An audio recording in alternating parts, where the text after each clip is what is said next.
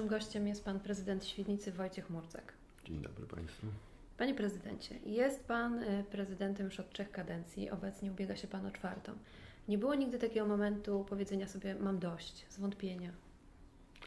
Myślę, że e, nie należy to do mojej natury, bo e, z, z reguły zmęczenie jest zastępowane kolejnymi pomysłami, a pomysły jak, jak są fajne, są szansą na realizację kolejnych marzeń, celów.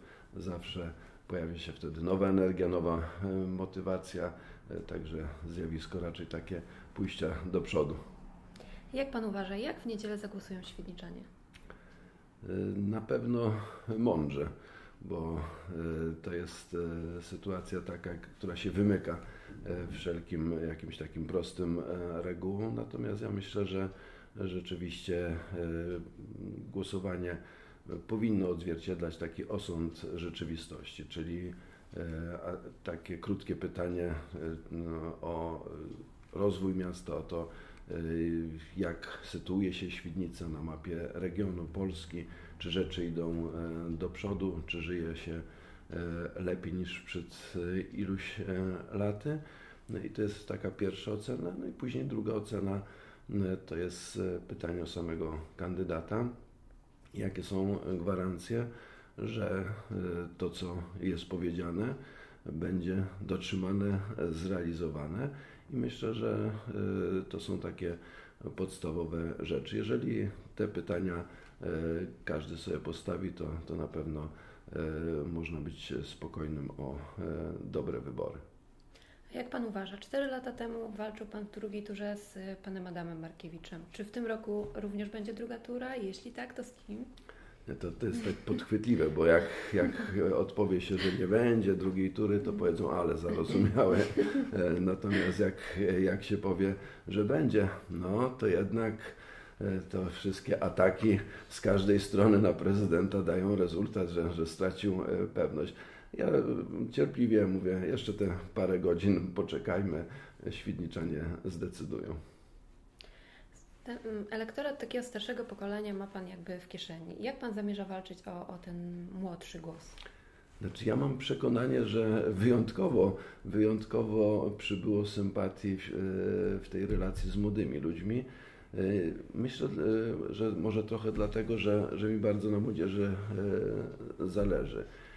I no taki przykład 11 listopada niejako oddaje tą rolę przemówienia z okazji Święta Niepodległości młodemu człowiekowi. On robi to fantastycznie i, i takie stanięcie ramię w ramię z młodym człowiekiem, to myślę, to jest odpowiedź. A oczywiście też takich przykładów E, że tak samo patrzymy, ja jestem, przypomnę, inżynierem elektronikiem, także na nowoczesne rozwiązania, które młodzież lubi, e, patrzymy podobnie o tematach internetu, rozumiemy się w pół zdania. Myślę, że takie spotkania e, w parku z młodzieżą, która chce żeby móc realizować te swoje pasje tego streetwork, E, autu, e, czy powiedzmy rozmowy o tych e, koncepcjach związanych z obiektami sportowymi. Naprawdę z młodzieżą się fajnie rozmawia, jest wspólny język i oni to później jakąś taką nutką sympatii oddają. Myślę, że wielu fajnych młodych ludzi jest związanych z naszą Świdnicą, z Młodzieżową Radą i to są środowiska, gdzie ja z, z chęcią idę, czuję się zdecydowanie młodziej rozmawiając e, z nimi, a w tej szczerości jest, jest ta informacja zwrotna. Także myślę, że problem jest tylko tej granicy, że, że, że nie wszyscy młodzi ludzie mogą już głosować, e, ale myślę, że, że tu dobre przykłady z budżetu obywatelskiego. Może kiedyś politycy tą poprzeczkę też lekko obniżą, tak jak my od 16 lat już głos w Świdnicy młodzieży jest bardzo ważny. Jeśli zostanie Pan wybrany ponownie prezydentem, z jakimi wyzwaniami na początek przyjdzie się zmierzyć? Jakie inwestycje czekają? Na pewno y, tych planów jest bardzo dużo, natomiast y, ja jestem osobiście przekonany, że wszystko co ważne powinno odpowiadać takiemu dobremu rozwojowi świdnickiej rodziny. Czyli ja jestem przekonany, że kolejny dobry rozwój i dobry czas dla Świdnicy to jest dobry czas dla świdnickiej rodziny we wszystkich wymiarach życia i funkcjonowania. Stąd z przyjaciółmi ze wspólnoty samorządowej nawet e, z całego programu wyłowiliśmy e, te wszystkie rzeczy, które mają służyć właśnie e, funkcjonowaniu i życiu świdnickiej rodziny. Nazwaliśmy no, nawet tak roboczo, można powiedzieć jeszcze, kontraktem dla świdnickiej rodziny. I tam próbujemy, zaczynając od urodzenia dziecka, już spotkać się z rodziną, pogratulować, przekazać wyprawkę. Jesteśmy w trakcie takiej ankiety, że chcemy zbadać potrzeby Świdniczan, jeśli chodzi o miejsca w żłobkach. Nie tworzyć tak pod potrzeby wyborcze, że nie wiem, 100, 200 miejsc, 500, jak, jak, jak ludzie chcą, tylko spytać rodziców, rodziców, którzy e, muszą te tematy podejmować, e, rozwiązywać. E, to, co wspomniałem z młodzieżą, no to jest nie tylko ten czas wolny i atrakcyjność miasta, w którym żyją i mogą chwalić się i z podniesionym czołem mówić, ja jestem ze Świdnicy, ale też coś konkretnego i tu wchodzimy w kolejny taki autorski, myślę, że, że w skali Polski nawet E, program Absolwent, bo zastanawialiśmy się, jak przyciągnąć młodzież, jak sprawić, żeby wracali i co zrobić, żeby nie wyjeżdżali. Natomiast e, myślę, że taki ciekawy pomysł mamy, żeby młodzi ludzie już e, na etapie nauki w szkole średniej, planując studia, mogli wiązać pewne plany z naszym miastem i stąd chcemy przyznawać takie punkty E, właśnie za, za dobrą maturę, za dobre wyniki e, w, e, na studiach, czy, czy, czy za osiągnięcia w realizacji różnych pasji. A później, żeby to nie było tak, że, że jest jakieś, jakaś rywalizacja sportowa, to te punkty chcemy zamienić na konkret, czyli przeliczyć na złotówki, żeby młody człowiek mógł kupić taniej działkę w Świdnicy, mógł mniejszy czynsz płacić w lokalu, jeżeli będzie chciał własną e, gospodarczą działalność rozpocząć. E, być może, że, że będzie na wszystkie wydarzenia kulturalne przez długi czas e, chodził za darmo. I ta lista jest długa. Do tej listy zamierzam pozyskiwać sojuszników wśród podmiotów gospodarczych, bo im też zależy na tym, żeby świnniczanie w tych nowoczesnych fabrykach, których kilkanaście powstało, pracowali i oni dali już przykład przy karcie dużej rodziny, że ponad 60 różnych e, podmiotów gospodarczych włączyło się, czyli te tematy e, mogą być e, wspólne. Oczywiście to jest osobna opowieść, bo z tym programem wiążą się różne konkretne jeszcze rozwiązania, ale o tym sukcesywnie będziemy, będziemy mówić. Natomiast jak rozmawiałem z młodymi ludźmi, to odbiór jest dobry. Oni czują, że ktoś ekstra coś ma, ma dla nich, nie ogólnie, e, tylko w konkrecie, e, który chcemy również z nimi dopracowywać. E, jednym z punktów w programie wspólnoty jest również, tak jak tutaj Pan wcześniej wspomniał, zwiększenie liczby miejsc w żłobkach. Na jakie rozwiązania młodzi rodzice w tym zakresie mogą liczyć? Nie wiem, czy dodatkowe placówki, dodatkowe miejsca, dofinansowania w niepublicznych placówkach? Znaczy, wszystkie wchodzą w grę, dlatego żeśmy tych e, pytań starali się zadać e, kilka. Nie, nie tylko, e, czy uważasz, że, że, że powinno być miejsce, czy nie, ale też w takiej otwartej formule, tak jak pani pyta, bo być może, że, że lepiej będzie myśleć o takim bonie i programie niania w domu. Być może, że że właśnie jakieś e, inne e, środki, które ułatwią e, życie, ale też nie, nie wyprzedzam, nie? bo wszyscy też ulegamy takiej wyborczej pokusie, że już mamy wszystko dopięte, gotowe, a z drugiej strony natychmiast stawiamy zarzut, że nie rozmawiamy z mieszkańcami. W temacie żłobków jesteśmy w trakcie dialogu z mieszkańcami, także nie uprzedzajmy, nawet jakby to dobrze brzmiało, bo ja jestem osobiście bardzo ciekaw, jaka będzie odpowiedź, a jestem przekonany, że właśnie to, co chcemy zrobić, będzie adekwatne do, do wyartykułowanych potrzeb.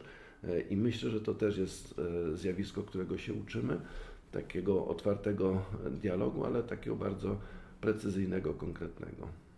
Czy oprócz tej ankiety Urząd Miejski tutaj przeprowadził jakieś badania, sprawdził, jakie jest faktycznie obłożenie żłobków, ile dzieci czeka na miejsce, ile się nie łapie? No jak, jak rozmawiamy z panią dyrektor która, e, żłobka, która jest na, na pierwszej linii e, tych kontaktów e, z rodzicami, no to pani dyrektor mówi, że, że, że jeszcze 5-10 miejsc jak, jak utworzymy i to zrobimy.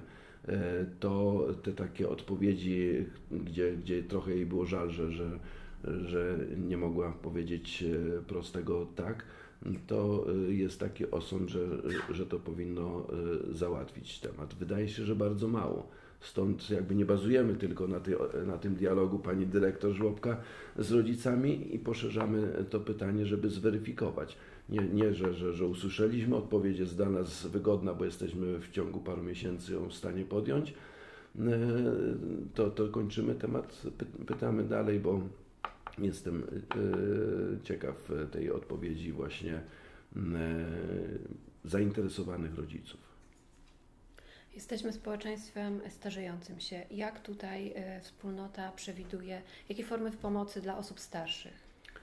Znowu chcemy mówić o konkretach, bo wiemy, że tam wszyscy mówią, potrzebny jest dom dla osób starszych. Konkretne rzeczy są potrzebne, dlatego Y, ja jestem osobiście przekonany, że możemy przeznaczyć y, w takim dialogu z y, prywatnymi inwestorami, podmiotami, a my jako udział miasta możemy przeznaczyć budynek dawnej balneologii. To jest duży obiekt i myślę, że tam można, można zrobić takie miejsce właśnie dla osób starszych. Wiemy, że rozwiązujemy w tej chwili właśnie takie najtrudniejsze problemy czyli mm, e, kończy się mm, budowa e, jednego hospicjum, drugie jest już mocno zaawansowane i tam osoby również z trudnymi przypadkami zdrowotnymi będą mogły znaleźć takie godne miejsce opieki. Kolejnym pomysłem jest adaptacja budynku przy ulicy 1 Maja. To jest budynek po dawnym urzędzie.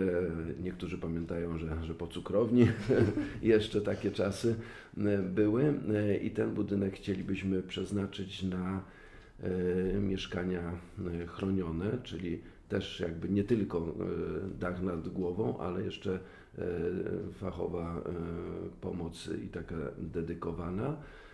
Nowością będzie i będziemy o tym rozmawiać takie miejsce, dziennego pobytu, ale dla osób e, z chorobą Alzheimera, ewentualnie z jakimiś innymi rodzajami e, zaburzeń, gdzie rodzina ma spory problem, e, czyli wyjście na zakupy, wyjście nawet na kilka godzin do, do pracy, to już jest mocna obawa o bezpieczeństwo, o to, co się, co się może wydarzyć, kto się zaopiekuje.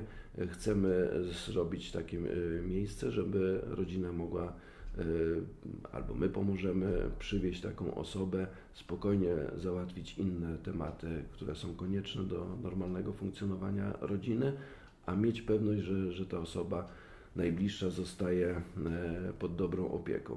I wtedy być może, że będzie ileś przypadków, że nie trzeba się rozstawać z najbliższymi, tylko mając takie rozwiązanie można, można później zabrać i wieczorem się e, cieszyć w gronie rodzinnym. Oczywiście też są takie e, rozwiązania, które już stosujemy z bardzo dobrym skutkiem. Ja e, rozmawiałem z osobami starszymi, które przyszły e, do tego kompleksu na ulicy Łańskiej, takiego rekreacyjnego, wypoczynkowego i oni byli rzeczywiście zachwyceni tą częścią dedykowaną seniorom, że mogą sobie na ławeczkach posiedzieć, E, popatrzeć jak e, wnuki, e, czasami prawnuki grają, bawią się na tych nowoczesnych boiskach i na placu zabaw i poczuli się tacy ważni, że, że ktoś pomyślał o nich. I muszę się przyznać, że, że, że mogliśmy na to wpaść wcześniej, ale mogę powiedzieć, że to dobre doświadczenie sprawia, że w ten sposób chcemy myśleć o kolejnych rozwiązaniach. Podobnie e, współpracując z dyrektorem e, przy gimnazjum numer 4, też jest miejsce dla seniorów i pod dachem, że, że mogą się spotykać e, czy z młodzieżą, czy we własnym gronie, ale też mogą siąść na ławeczkach, mogą, mogą zagrać w bóle. Klub seniora na, na Zarzeczu też jest jakąś odpowiedzią i myślę, że E, powinniśmy wrażliwie patrzeć na potrzeby i starać się e, odpowiadać. Znowu nie deklaracja, że e, na każdej ulicy klub seniora. Jak starsze osoby będą się organizować i tych przykładów już mamy, jak będzie taka reakcja, o której wspomniałem, to powinniśmy na te potrzeby konkretne odpowiadać też bardzo konkretnymi rozwiązaniami. Obecnie największym wrogiem wszystkich kandydatów jest niska frekwencja wyborcza. Jak Pan sądzi, dlaczego ludzie nie chcą głosować? Znaczy, myślę, że rzeczywiście, jeżeli nie ma takich e, dyskusji, e, które wciągają do, do fantastycznych pomysłów, e, takich, na które czekamy, to może tego brakuje. Ludzie są zmęczeni taką polityką, są zmęczeni E, jakimiś rodzajami takich e, kąśliwych e, debat, gdzie celem nie jest rozwiązanie problemu, tylko kontrkandydat. I to obserwujemy no, taką deprecjację debat publicznych, deprecjację właśnie dialogu. Patrząc od, od góry, i to niestety coraz, coraz niżej sięga. Wydaje się, że też jest e, no, ta zmora dla wszystkich, chyba na całym świecie polityków, składania mnóstwa obietnic e, bez pokrycia i to są też rodzaje e, rozczarowania. I to jest taka praca, myślę, że, że żeby ludzie uwierzyli, że coś można zmieniać. Sądzę, że takim dobrym pomysłem i rozwiązaniem jest budżet obywatelski, który też na razie ma jeszcze niską frekwencję, ale jestem optymistą, że jak ludzie już zobaczyli, że z tej pierwszej edycji budżetu obywatelskiego praktycznie oprócz kończenia inwestycji dużych, czyli hospicjów, wszystkie rzeczy są zrealizowane, czyli ten czas od momentu, kiedy głosuję, do momentu, kiedy widzę na swoim podwórku, w swojej dzielnicy e, rozwiązanie, e, które zgłosiłem, za którym sąsiedzi, rodzina zagłosowali ono jest, to myślę, że to jest taka krótka droga nabierania tej, tej wiary, że, że, że naprawdę uczestniczymy, naprawdę e, współtworzymy e, i sądzę, że tego typu przykłady i tego typu praca musi być w skali całej Polski e, wykonywana, żeby no, coś się zmieniło. Ja mam kolejny raz nadzieję, że Świdniczanie jednak będą się wyróżniali powyżej tej średniej wyborczej, czyli że E, pójdą. Zachęcam zresztą bardzo wyraźnie Państwa osobiście, żeby tego 16 listopada wykorzystać tą e, szansę. E, I no ja bardzo bym się cieszył, jak, jak, jak, jak będziemy powyżej średniej w regionie czy, czy w kraju. Mam nadzieję, że, że tą szansę wykorzystamy. Dobrze, dziękuję bardzo za rozmowę. Dziękujemy. Dziękuję. Dziękuję bardzo. Música